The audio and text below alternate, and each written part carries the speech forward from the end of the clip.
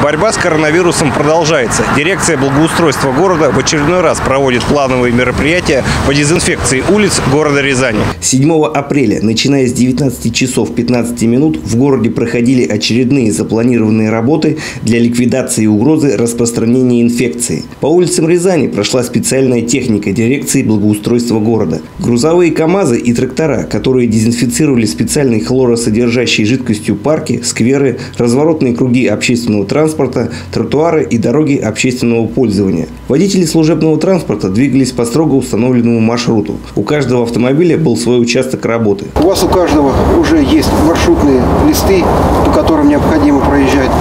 Все вы маршруты свои знаете. Перед выездом все водители были проинструктированы о том, как проводить профилактические работы и как самим себя вести на дорогах во время движения. Пользуйтесь масками, средствами индивидуальной защиты, избегайте попадания средств на а, открытые участки тела, на одежду тоже нельзя, чтобы попадало. Если попадет, то нужно промыть проточной водой.